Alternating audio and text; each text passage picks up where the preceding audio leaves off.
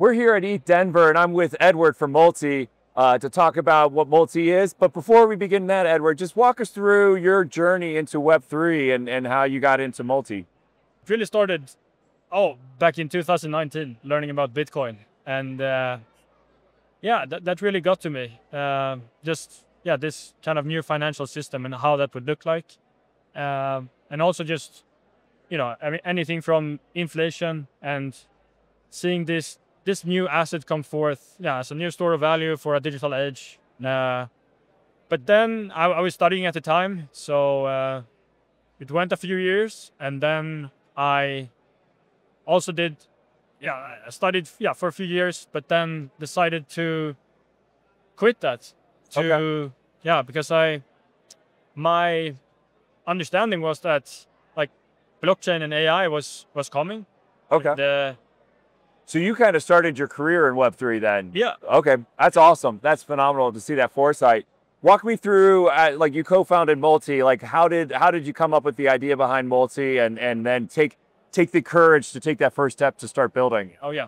So yeah, let, let me start with so two and a half years ago I started Metaspect, and that was so I was doing mostly I've been doing mostly research and uh, yeah, so ecosystem, market reports, protocol level, stuff like that. Mm-hmm. Uh, and also more on like the strategy side of blockchain applications in general. So that has been my entry point in this space. And now with multi, so I I read their white paper like maybe yeah one and a half years ago. And uh, so they had been building this out from KTH in, in Stockholm uh, as a PhD program. Uh, so so they've really been working on yeah computer science, algorithm backgrounds, and uh, yeah, and I was just fascinated by the idea, and uh, yeah, so having a self-optimizing asset-backed currency that was the that could act like keys to uh to this tokenized global economy that is getting mature. Um, yeah. So yeah, so I, I, I decided to to contact them and uh, and like due to my experience like as a crypto native on like using stuff and analyzing and researching both ethereum solana and all kinds of like chains mm-hmm. um, yeah they needed that kind of like competence to bring this to market. How do we communicate this? And yeah. I'm always fascinated with the wisdom of the crowds and how that can actually be a, a good optimization tool. And so when you're describing to me how you kind of gamify a way to to get that wisdom of the crowd. So walk from like a product perspective for multi, like how do you guys like walk us through the game and and what the output of the game is? Yeah. So it's really so to start with, asset management performance competition platform.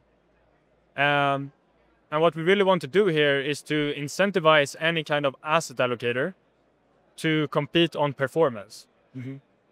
And by doing so, we uh, yeah we also have a dual token backed system. So by doing this competition, the underlying will be self optimized over time. So we will use that.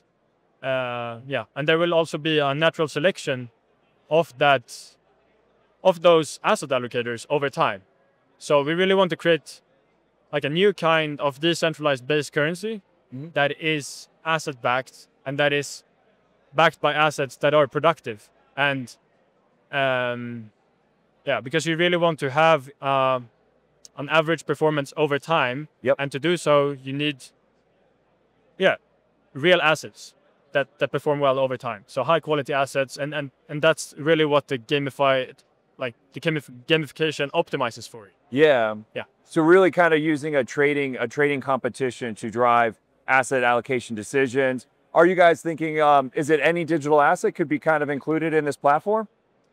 Yes. So I, yeah, I would say any kind of asset. Um, yeah, and uh, and that's one of the reasons also why we why we're building on ICP.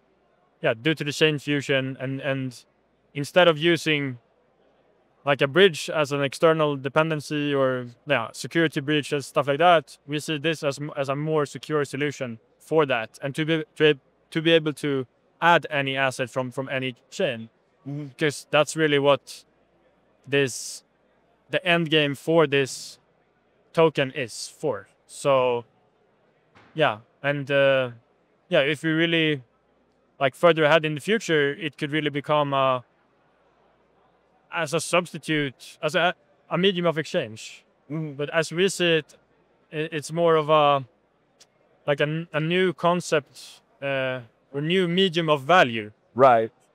So uh, instead of having like a stable coin that is yeah pe- pegged to fiat, or you have Bitcoin that is yeah not intrinsically backed. Mhm. We want to create something that is multi-backed and stable. Uh, yeah, Yeah, Yeah. I love I love like touching on the fact that chain fusion allows you to talk with every chain uh, in in our in our industry, but also brings us security. But security is obviously super important when there's financial uh, assets at stake. Um, kind of like uh, in, in terms of like the competition, is this a really short competition, a couple weeks, or what? What is the timeline like for for how long these competitions run for? yeah. So, yeah, what we're looking for is really a, a more longer-term timeline. Mhm. Because what yeah what we're really you know interested in is getting those kind of real assets that are a-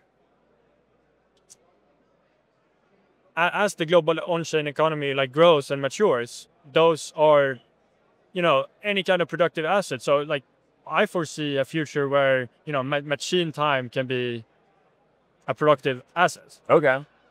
and these are the kind of assets that we see in this like diversified reserve protocol. Oh, I see. So not even just Bitcoin, Ethereum, or tokenized uh, R- RWAs, or, but you're thinking like even like tokenized compute or tokenized. Yeah, yeah, Wow, interesting. that's yeah and yeah and again i might have mentioned this before but just the like keys to the token tokenized global economy so you know wouldn't you want to own like it doesn't matter how much you own but if you own multi you can redeem it for any kind of all of these backed assets I see. So so a true medium of exchange across digital assets.